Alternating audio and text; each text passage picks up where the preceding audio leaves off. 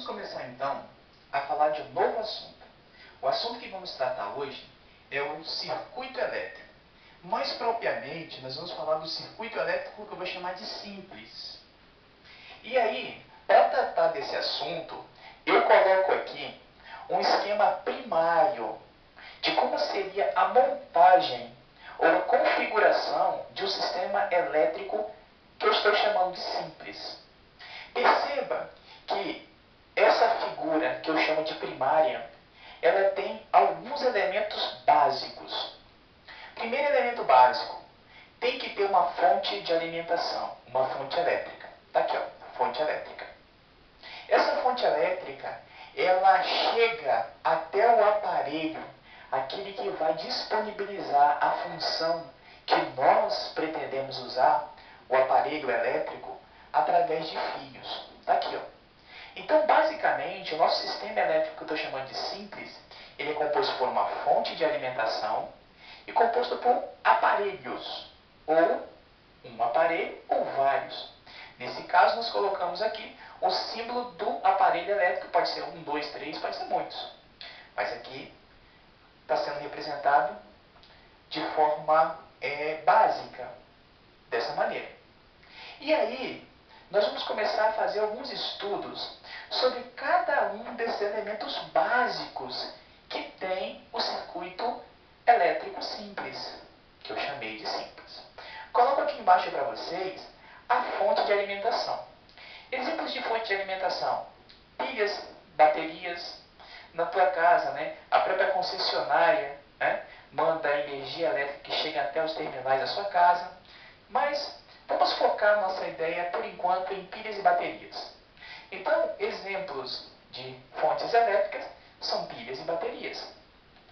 Você deve perceber, já deve ter visto, atrás dos aparelhos elétricos, que muitos fabricantes colocam um esquema, um desenho que representa a composição, a, o gráfico elétrico do aparelho, né? o diagrama do aparelho. E aí você tem muitos elementos naquele mapa, naquele diagrama. A fonte elétrica, que nesse caso nós estamos entendendo como a pilha ou como a bateria, ele tem um símbolo para representar ele, um gráfico. E o gráfico que representa a pilha, que é a fonte elétrica, está vendo aqui, ó? São dois traços verticais e paralelos. Esses dois traços verticais e paralelos têm tamanhos diferentes. Isso é importante que tenha tamanhos diferentes, porque tendo tamanhos diferentes, vão representar a fonte elétrica. Observe que tem um traço menor e um maior. Você já deve ter percebido também que pilhas têm polos. Um polo positivo e um polo negativo. Então, essa pilha, como ela é representada por esse símbolo, esse símbolo também levará essa polaridade. O traço menor representa o polo negativo. O traço maior vai representar o polo positivo. Observe que o símbolo da pilha é o mesmo da bateria, porque o símbolo não representa só a pilha, só a bateria, representa a fonte elétrica. Tudo que foi entendido como fonte elétrica vai poder ser representado assim por vocês. Bom, um outro elemento importante do meu diagrama primordial, né, básico, primitivo, eu coloquei como aparelho. O aparelho, ou aparelho, se assim estiver ligado, aparelhos no plural, o que, que ele oferece para você? O que, que ele oferece? Primeiro é que ele te oferece uma função, porque dentro dele tem muitas coisas. Eu listei aqui três coisas básicas que estão dentro do aparelho. Ele pode ter resistores, ele pode ter capacitores, ele pode ter indutores. São elementos elétricos distintos. Mas ambos, quando conectados dentro do aparelho, fornecerão ao nosso sistema uma coisa importante chamada de resistência elétrica, que vai levar outro símbolo no futuro, impedâncias, né? mas por enquanto ele, o resistor, o capacitor e o indutor, quando associados aqui dentro, eles vão oferecer ao sistema uma resistência elétrica, uma resistividade à passagem da corrente. No futuro nós vamos poder discutir melhor, que venha outros nomes, nomes mais específicos. Mas, no geral, nós podemos dizer que esses elementos, eles oferecem ao circuito uma resistência elétrica. E o símbolo que vai representar uma resistência elétrica, estou colocando aqui para vocês. Um serrilhado, né? um retângulo, quando no sistema vai representar a resistência elétrica. Futuramente, é claro que nós vamos padronizar que isso vão ser representações de resistores, né? porque cada um desses elementos aqui tem uma representação específica. Né? Mas por enquanto, quero que você entenda que eles oferecerão para vocês uma resistência elétrica. Nós vamos focar a nossa mente mais especificamente nos resistores. Por quê?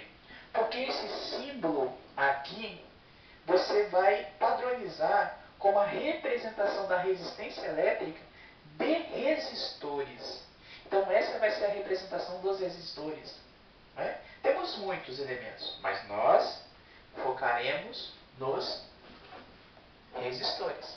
É claro, aqui dentro também tem semicondutores, tem triac, diac, muitos. Né? Mas nós vamos focar nossa mente nesses dois símbolos, que representam a resistência elétrica de resistores. Então, basicamente, nós podemos dizer que quando uma fonte está ligada a um aparelho, nós temos uma fonte de alimentação, que é o fornecimento da energia, da fonte energética. Nós temos o aparelho possuindo uma resistência elétrica e por eles estão conectados através de fios. E o que, que esse fio permitirá? Permitirá que haja uma passagem por ele, ou seja, pelo fio, de uma coisa chamada de corrente elétrica. É essa corrente elétrica que, ao passar pelo fio e chegar no aparelho, vai é, fazer com que o aparelho tenha a sua função. Quando chegar a corrente, o aparelho começa a ter o seu funcionamento. Né? É um gatilho para que o aparelho libere o seu funcionamento. Bom, então, nós padronizamos para vocês aqui o que um circuito elétrico chamado de simples. Temos uma fonte elétrica e temos um aparelho para receber essa energia. Surgindo então, no caso, uma representação para a fonte elétrica e uma representação para a resistência elétrica, mais propriamente do resistor. É o que nós vamos falar com mais profundidade.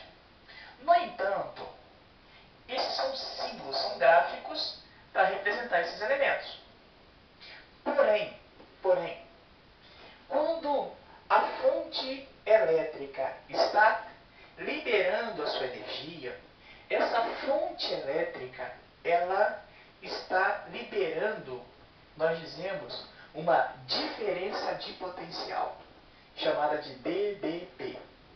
Ou seja, essa fonte elétrica, ela libera para o circuito essa energia na forma de diferença de potencial.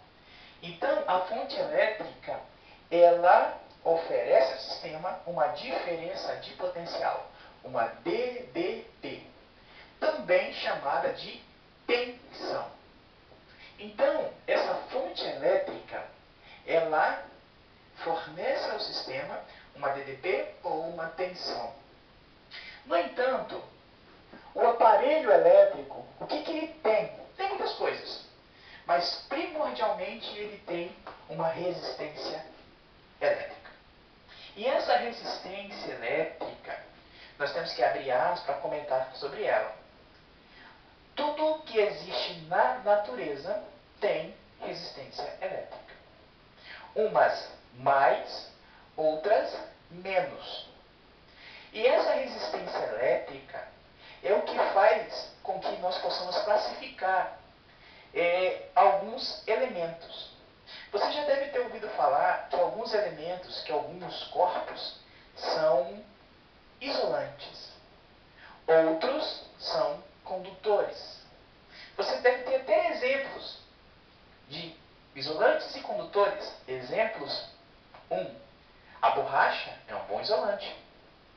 O metal é um bom condutor. No entanto, o que tem dentro da borracha ou o que tem dentro do metal que faz com que nós possamos trazer essa classificação? Essa classificação é baseada na sua resistência elétrica. Os isolantes, eles possuem uma alta resistência elétrica. Os condutores possuem uma baixa resistência elétrica. E é nesse padrão que nós vamos poder classificar.